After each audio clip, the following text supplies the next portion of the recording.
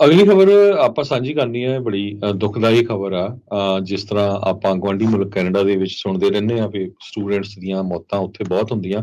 America ਦੇ ਵਿੱਚ ਵੀ ਅੱਜ ਇੱਕ ਹੋਰ ਸਟੂਡੈਂਟ ਦੀ ਮੌਤ ਹੋਈ ਹੈ, ਭਾਰਤੀ ਮੂਲ ਦੇ। ਟੋਟਲ ਹੁਣ ਤੱਕ ਭਾਰਤੀ ਮੂਲ ਦੇ 9 ਸਟੂਡੈਂਟਸ ਦੀ ਪਿਛਲੇ ਕੁਝ ਮਹੀਨਿਆਂ ਦੇ ਵਿੱਚ ਮੌਤ ਹੋ ਚੁੱਕੀ ਹੈਗੀ ਆ। ਅਵਿਜੀਤ ਪਾਰੁਚਰੂ 20 ਸਾਲਾਂ ਦਾ ਜੋ ਬੱਚਾ ਆ, ਉਹ ਆਂਧਰਾ ਪ੍ਰਦੇਸ਼ ਗੰਤੂਰ ਤੋਂ ਸੀ ਬੋਸਟਨ ਯੂਨੀਵਰਸਿਟੀ ਦੇ ਵਿੱਚ ਇੰਜੀਨੀਅਰਿੰਗ ਕਰਦਾ ਸੀ ਤੇ ਉਸ ਨੂੰ ਮਾਰਚ 11 ਨੂੰ ਮਾਰ ਦਿੱਤਾ ਗਿਆ। ਤੇ ਇਹਦੇ ਸਬੰਧ ਦੇ ਵਿੱਚ ਪੁਲਿਸ ਇਨਵੈਸਟੀਗੇਸ਼ਨ ਕਰ ਰਹੀ ਆ। ਪਤਾ ਨਹੀਂ ਚੱਲ ਰਿਹਾ ਵੀ ਉਸ ਨੂੰ ਕਿਉਂ ਜਿਹੜਾ ਮਾਰਿਆ ਗਿਆ ਹੈਗਾ ਆ। ਇੰਡੀਅਨ ਕੌਂਸੂਲੇਟ ਜੋ ਉਹਨਾਂ ਦੇ ਪਰਿਵਾਰ ਦੇ ਨਾਲ ਕੰਟੈਕਟ ਚ ਆ ਤੇ ਉਹਨਾਂ ਦੀ ਬਾਡੀ ਭੇਜਣੀ, ਜੋ ਵੀ ਕਰਨਾ, ਉਹਨਾਂ ਦੇ ਨਾਲ ਹੈਲਪ ਕਰ ਰਿਹਾ ਹੈ ਇਸ ਤੋਂ ਪਹਿਲਾਂ ਵੀ ਆਪਾਂ ਤੁਹਾਡੇ ਨਾਲ ਕਈ ਵਾਰੀ ਖਬਰਾਂ ਸਾਂਝੀਆਂ ਕੀਤੀਆਂ। ਮਾਰਚ ਮਹੀਨੇ 'ਚ ਹੀ ਇੱਕ ਅਮਰਨਾਥ ਘੋਸ਼ ਨਾਮ ਦਾ 34 ਸਾਲਾਂ ਦਾ ਕਲਾਸੀਕਲ ਡਾਂਸਰ ਇੰਡੀਆ ਤੋਂ ਸੀ। ਵਾਸ਼ਿੰਗਟਨ ਯੂਨੀਵਰਸਿਟੀ ਦੇ ਵਿੱਚ ਉਸ ਨੂੰ ਵੀ ਗੋਲੀ ਮਾਰ ਕੇ ਮਾਰ ਦਿੱਤਾ ਗਿਆ ਸੀ।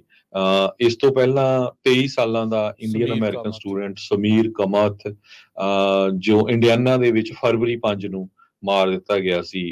ਬਵੇਕ ਤਨੇਜਾ 41 ਸਾਲਾਂ ਦਾ ਆਈਟੀ ਦਾ ਇੱਕ ਐਗਜ਼ੀਕਿਊਟਿਵ ਸੀ ਉਸ ਨੂੰ ਵੀ ਕੁੱਟ ਕੇ ਮਾਰਿਆ ਗਿਆ ਸੀ ਵਾਸ਼ਿੰਗਟਨ ਸਟਰੀਟ ਦੇ ਵਿੱਚ। ਇਸੇ ਤਰ੍ਹਾਂ ਸੈਯਦ ਮਜ਼ਾਰ ਅਲੀ ਇੰਡੀਅਨ ਸਟੂਡੈਂਟ ਨੂੰ ਸ਼ਿਕਾਗੋ ਦੇ ਵਿੱਚ ਅਟੈਕ ਕੀਤਾ ਗਿਆ ਸੀ। ਬਵੇਕ ਸੈਣੀ, ਜੋ ਹਰਿਆਣਾ ਤੋਂ ਆਪਣਾ ਨੌਜਵਾਨ ਸੀ 25 ਸਾਲਾਂ ਦਾ ਇੱਕ ਗੈਸ ਸਟੇਸ਼ਨ ਤੇ ਕੰਮ ਕਰਦਾ ਸੀ ਜਾਰਜੀਆ ਸਟੇਟ ਦੇ ਵਿੱਚ ਲਿਥੋਨੀਆ ਸਿਟੀ 'ਚ ਤੇ ਉਸ ਨੂੰ ਇੱਕ ਲੁਟੇਰੇ ਨੇ ਥੋੜੇ ਮਾਰ-ਮਾਰ ਕੇ ਮਾਰ ਦਿੱਤਾ ਸੀ। ਇਹ ਆਪਾਂ ਖਬਰ ਵੀ ਸਾਂਝੀ ਕੀਤੀ ਸੀ।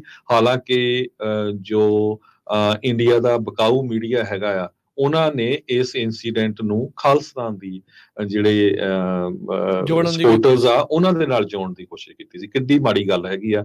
ਜਦ ਕਿ ਸ਼ਰਿਆਂ ਪਤਾ ਪਈ ਉਹ ਸਟੋਰ ਦੇ ਵਿੱਚ ਲੁਟੇਰੇ ਨੇ ਕੁੱਟ-ਕੁੱਟ ਕੇ ਮੁੰਡੇ ਨੂੰ ਨੌਜਵਾਨ ਨੂੰ ਮਾਰਤਾ ਤੇ ਮੁੰਡਾ ਵੀ ਉਹ ਪੰਜਾਬੀ ਹਰਿਆਣਵੀ ਮੂਲ ਦਾ ਸੀ। ਇਸ ਤੋਂ ਪਹਿਲਾਂ ਇੱਕ 19 ਸਾਲਾਂ ਦਾ ਸ਼੍ਰਿਆਸ ਰੈਡੀ ਬੈਨੀਗਰ ਇਹ student Lindner school of business, Ohio state ਸੀ।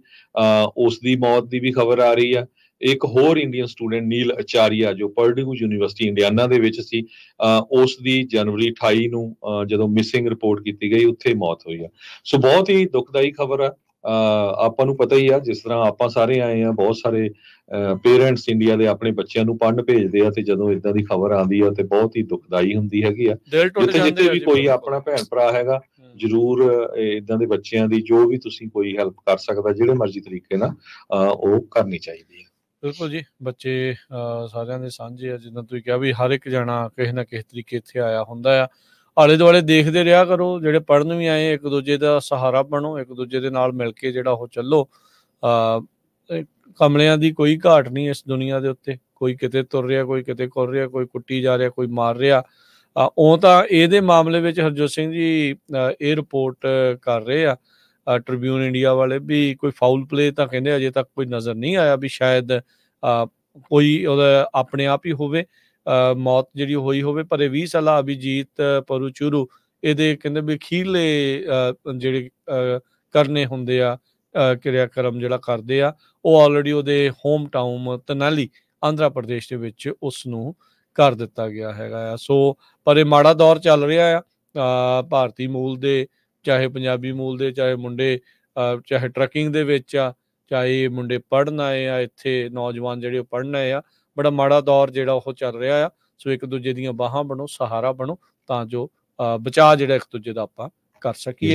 ਇੱਕ ਦੂਜੇ ਦਾ ਧਿਆਨ ਜ਼ਰੂਰ ਰੱਖੋ ਕਿਉਂਕਿ ਪਿਛਲੇ ਦਿਨਾਂ 'ਚ ਆਪਾਂ ਦੇਖਿਆ ਟਰੱਕ ਡਰਾਈਵਰਸ ਦੀ ਮੌਤ ਹੋਈ ਆ। ਹੁਣ ਇੱਕ ਖਬਰ ਆ ਰਹੀ ਵੀਕਐਂਡ ਦੇ ਦੌਰਾਨ ਫ੍ਰਿਜ਼ਨੋ ਏਰੀਏ 'ਚ ਇੱਕ ਆਪਣਾ ਪੰਜਾਬੀ ਨੌਜਵਾਨ ਸੀ ਜੋ ਬਾਰਡਰ ਕ੍ਰਾਸ ਕਰਕੇ ਆਇਆ ਸੀ। ਥੋੜਾ ਸਮਾਂ ਹੋਇਆ ਉਸਨੇ ਸੁਸਾਈਡ ਕਰ ਲਿਆ। 50 ਲੱਖ ਦਾ ਕਰਜ਼ਾ ਲੈ ਕੇ ਆਇਆ ਸੀ। 2 ਲੱਖ ਰੁਪਈਆ ਕਹਿੰਦੇ ਉਹਦਾ ਵਿਆਜ ਹੀ ਪੈਂਦਾ ਸੀ। ਹੁਣ ਜਦੋਂ ਅਸੀਂ ਇਹ ਕਹਿੰਦੇ ਆ ਵੀ ਭਾਈ ਇਲੀਗਲ ਕੰਮ ਨਾ ਕਰੋ ਇਲੀਗਲ ਬਾਰਡਰ ਕ੍ਰਾਸ ਕਰਕੇ ਨਾ ਆਓ ਤਾਂ ਬਹੁਤ ਸਾਰੇ ਸਾਡੇ ਜਿਹੜੇ ਭੈਣ ਭਰਾ ਉਹ ਸੋਚਦੇ ਵੀ ਪਤਾ ਨਹੀਂ ਯਾਰ ਇਹ ਆਪ ਤਾਂ ਪਹੁੰਚ ਗਏ ਸਾਨੂੰ ਕਾਤੇ ਇਦਾਂ ਕਹਿ ਰਹੇ ਆ।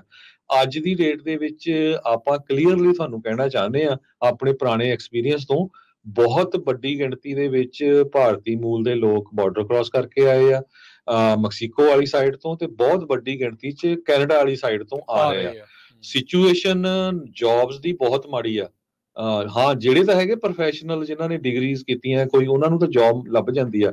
ਦੂਜੇ ਕੋਈ ਸਟੋਰਾਂ ਤੇ ਕੰਮ ਕੋ ਕਿਤੇ, ਬਹੁਤ ਹਾਰਡ ਹੈਗਾ, ਲੋਕਾਂ ਨੂੰ ਕੰਮ ਨਹੀਂ ਲੱਭ ਰਿਹਾ।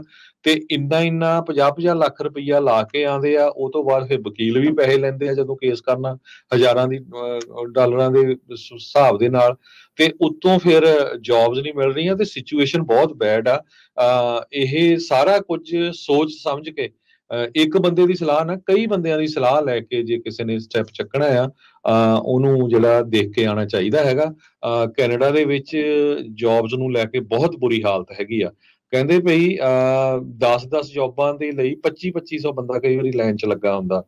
ਮੈਂ ਇਕੱਲੇ ਕਿਸੇ ਨਾਲ ਗੱਲ ਕਰਦਾ ਸੀ ਕਹਿੰਦੇ 8 ਘੰਟੇ ਦਾ ਹੀ ਸਿਰਫ ਉਹਨੂੰ ਇੱਕ ਹਫ਼ਤੇ ਦੇ ਵਿੱਚ ਸਟੂਡੈਂਟ ਦਾ। ਕੰਮ ਮਿਲ ਰਿਹਾ ਹੈਗਾ।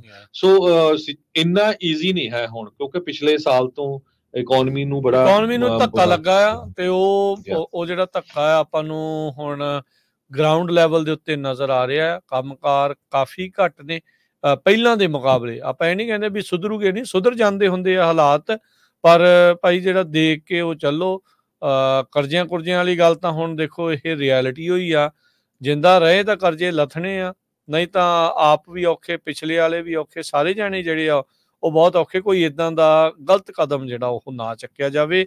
ਇੱਕ ਦੂਜੇ ਨੂੰ ਸਪੋਰਟ ਕਰੋ ਕਮਿਊਨਿਟੀ ਸਪੋਰਟ ਸਿਸਟਮ ਜਿਹੜਾ ਉਹ ਆਪਾਂ ਸਟਰੋਂਗ ਕਰੀਏ ਇੱਕ ਦੂਜੇ ਦੀ ਮਦਦ ਵੱਧ ਤੋਂ ਵੱਧ ਜਿਹੜੀ ਉਹ ਕਰ ਸਕਦੇ ਆ, ਹੌਸਲਾ ਹੋਵੇ, ਸਭ ਤੋਂ ਵੱਡਾ ਤਾਂ ਜਿਹੜਾ ਹੌਸਲਾ ਹੀ ਹੁੰਦਾ ਆ, ਬੰਦੇ ਨੂੰ ਜਿਹੜਾ ਉਹ ਕਰਦਾ ਵੀ ਚੱਲ ਕੋਈ ਨਹੀਂ, ਮਾੜਾ ਵਕਤ ਆ ਲੰਘ ਜਾਂਦਾ ਆ, ਸੋ ਹੌਸਲਾ ਜਿਹੜਾ ਉਹ ਜ਼ਰੂਰ ਰੱਖਣਾ, ਜਿਹੜਾ ਉਹ ਚਾਹੀਦਾ, ਸੋ ਇਸ ਤਰੀਕੇ ਦੀ ਜਿਹੜੀ ਸਪੋਰਟ ਆ ਉਹ ਜ਼ਰੂਰ ਕੀਤੀ ਜਾਵੇ।